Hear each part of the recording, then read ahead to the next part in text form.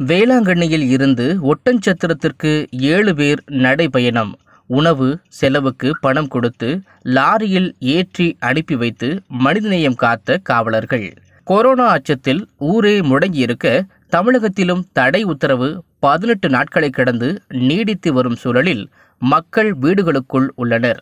இந்நிலையில் வெளியில் சென்றிருக்கும் பலரும் போக்குவரத்து இன்றி தங்களின் சொந்த ஊர் நோக்கி நடைபயணமாக மேற்கொண்டு வருகின்றனர். இந்த நிலையில் திருச்சி மாவட்டம் மணப்பாறை அடுத்த மஞ்சம்பட்டி பகுதியில் எட்டு வயது சிறுமி உட்பட ஏழு பேர் தலையில் சிறிய சிறிய மூட்டைகளுடன் நடந்து சென்று கொண்டிருந்தனர்.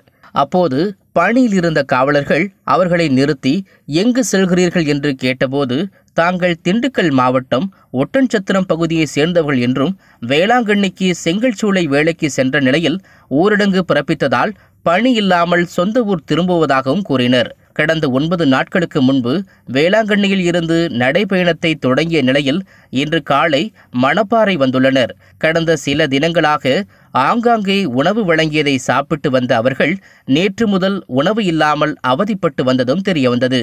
உடனே காவலர்கள் அனைவரும் ஒன்று சேர்ந்து ஏழு பேருக்கும் உடனடியாக உணவு வழங்கினர். அதன் பின்னர் தங்களிடமிருந்த சிறிய சிறிய தொகையை கொடுத்து அவர்களை செலவுக்கு வைத்துக் கொள்ளும்படி கூறியதோடு சில துணிகளையும் கொடுத்தனர். பின்னர் அந்த வழியாக வந்த லாரியை போலீசார் தடுத்து நிறுத்தி ஏழு பேரையும் அந்த லாரியில் ஏற்றி அனுப்பி வைத்ததுடன் ஏழு பேரையும் ஒட்டஞ்சத்திரத்தில் இறக்கிவிட்டு தங்களுக்கு தகவல் தெரிவிக்க வேண்டுமென்று அந்த லாரி ஓட்டுநரிடம் தெரிவித்து அனுப்பி வைத்தனர். ஊரடங்கு பணியில் காவலர்கள் ஒன்று கூடி செய்த இந்த மனிதநேய நிகழ்ச்சியை அனைவரும் பாராட்டினர்.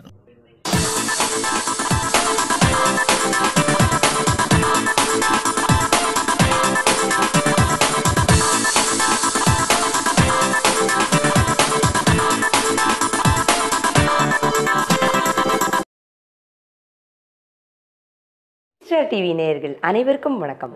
அப்லோட் பண்ணுற வீடியோஸ் எல்லாம் உங்களுக்கு பிடிச்சிருந்தா மறக்காமல் லைக் பண்ணுங்கள் சப்ஸ்கிரைப் பண்ணுங்கள் கீழே கீழே இருக்கிற பெல் பட்டனை ப்ரெஸ் பண்ணுங்கள் நன்றி.